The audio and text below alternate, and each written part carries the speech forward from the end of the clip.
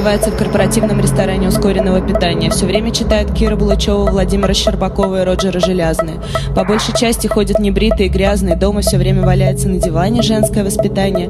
Иногда поет сам собой в караоке, чтобы выглядеть не тоскливым парнем. Также ходит по средам в рок-кружок и, поскольку нет слуха, занимается на ударных. Живет он с мамой, которая его во всем опекает и попрекает, что он упрямый.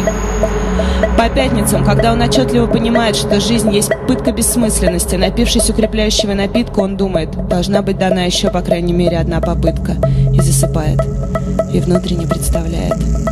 Бой при Мадабалхане. Там четвертые сутки по кайногорцам в упор работают плазмой и тяжелыми лазерами Сталани. Пыль мешается с молекулярным пеплом, и даже бесчувственные машины, как испугавшиеся мужчины, уговаривают себя подняться в атаку.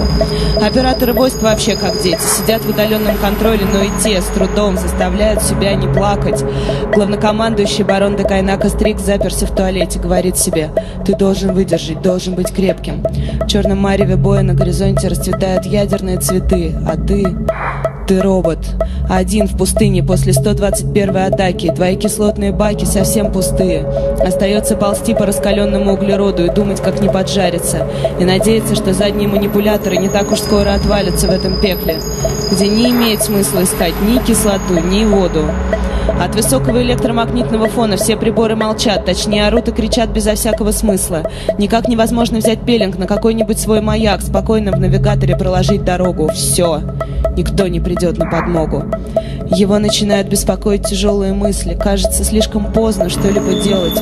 И он по подпространственному интеркому молится не тому, кто его создал, но кому-то другому.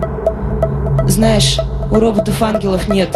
Никто не беспокоится, не летит, не закрывает невидимыми крыльями нас пути.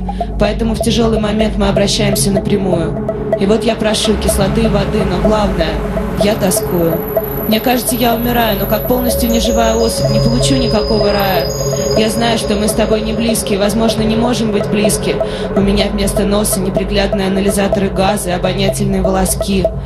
Но если я все-таки есть, пускай я, тупая жесть и спутанные провода, и меня за 39 секунд убивает вода, но я прошу избавить меня от этой непонятной тоски. Ты слышишь, что это завоет там? Это плазма. Там внизу роботы опять начинают бой. Ты видишь, со скоростью близко к скорости звука по пустыне несутся уродливые механизмы. Так вот, они не спасутся.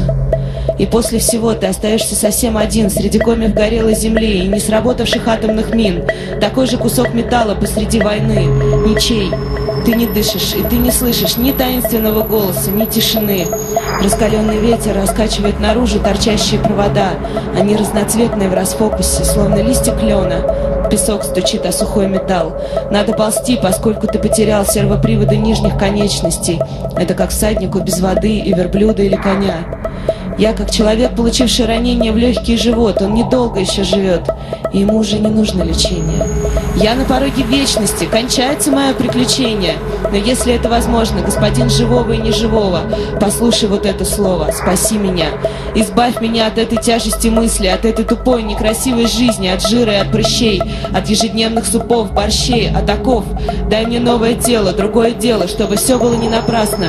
Научи меня одеваться по самой последней моде, сделай так, чтобы все оставили меня в покое, или чтобы все считали прекрасным, и все такое. Или лучше убей, говорит, приходя в себя Володя, но с перепоя или от того, что начинается грипп и поднимается температура, он опять готовится к бою. И вокруг пустыня, и льется плазма, и он горит.